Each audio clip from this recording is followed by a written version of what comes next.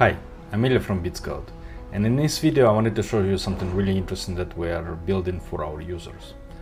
You will see how here I will create a plugin that will be used as a skill for an agent and then it will process some documents and immediately you'll be able to ask questions via Slack application to those documents. Okay, now I have created a bunch of uh, invoices in this case from fake company called Weyland-Yutani to another fake company called Tyrell Corporation. Those invoices has a, have a date in future, but the rest looks like a normal invoice. Okay, so I created a few documents like this. They all have different names, PO numbers, and etc. And then uh, using a Bitskout, I have created a plugin that will analyze invoices, but I just renamed it to uh, make sure that this is the plugin that I want to use as an agent skill. Okay. Now the next step what we're gonna do is we will um, create an agent skill. So as you can see here I already have a skill added. So this is the skill that analyzes our invoices. So let's add a new one. Let's choose the invoices and here as you can see I have lots of plugins but the plugin I really want data to be saved for an agent. It means the agent, once this plugin is run, the information is prepared for our agent and agent will query this information. In your case, you probably won't have so many plugins, you'll probably be one.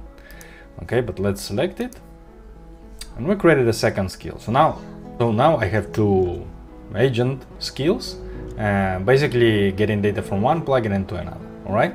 But the point is, now it's ready. And once I send the data, so let's run those.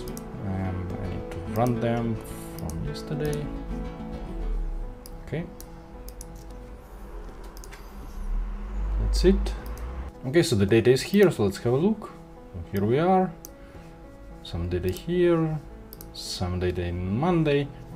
So anyways, um, we processed it. So let's ask some questions from our uh, agent. Okay, Let's ask at least all invoice IDs from Weyland.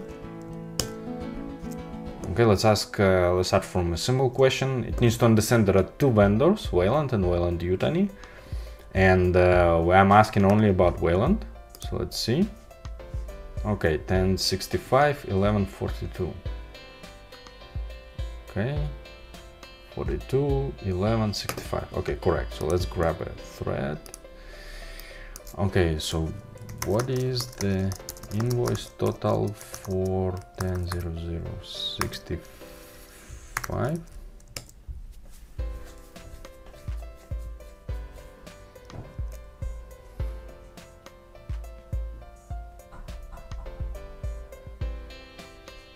Okay, 1065 is 1600, correct? And what is the total sum of all invoices from Weyland Yutani.